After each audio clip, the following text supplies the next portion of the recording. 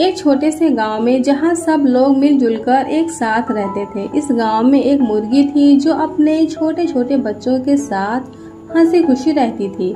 एक दिन एक तोता उस गाँव में आया और गाँव के किनारे अपना एक बहुत सुंदर घर बनाकर रहने लगा। वो तोता भी बहुत सुंदर था। एक दिन घूमते घूमते मुर्गी वहाँ आई। उसने तोते को देखा तो उसने नमस्ते किया। तोते ने मुर्गी को देखा और उसे इग्नोर कर दिया।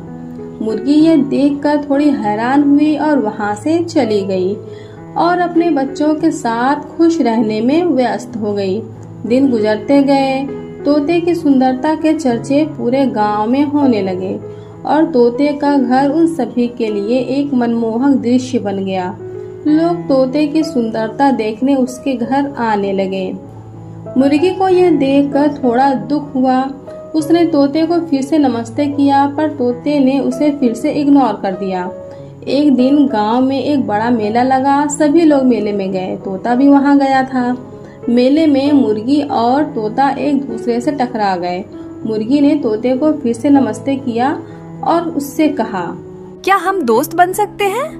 तोते ने मुर्गी को गुस्से से देखा और कहा मुझे तुमसे दोस्ती नहीं करनी है।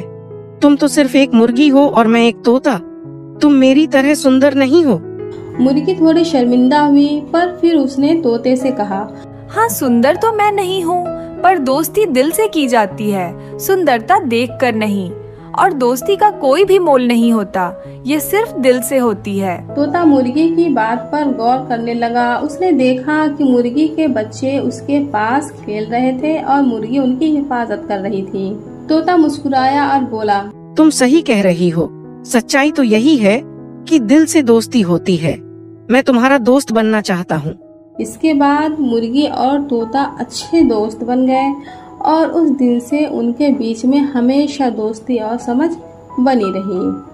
तो फ्रेंड्स, वीडियो अगर पसंद आई हो तो वीडियो को लाइक करें, शेयर करें और इसी तरह की वीडियोस देखने के लिए मेरे चैनल को सब्सक्राइब करें। तो मिलते हैं नेक्स्ट वीडियो में एक नई कहानी के साथ। तब तक के लिए बाय बाय